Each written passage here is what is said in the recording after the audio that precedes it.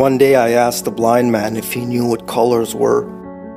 He said, Well, I've never seen them, but in my mind, the color yellow feels like the warm rays of sunshine. The color green, I imagine, is what covers the soft carpet of grass in an empty meadow.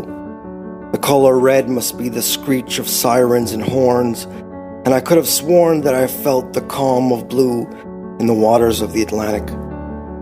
You see, my friend, he added, I may not have the gift of sight, but I am thankful to be spared the blackness that engulfs the world at night. Although I cannot distinguish dark from light, I can still tell wrong from right. I can hear hidden tones in music that most people cannot. I can dream of beauty from just the scent of a rose. I can feel the crisp droplets of rain on my skin, and unlike others, I can actually see the wind. Never feel bad for a blind man, he said finally, for you see the world for what it is, while I see it for what it could be.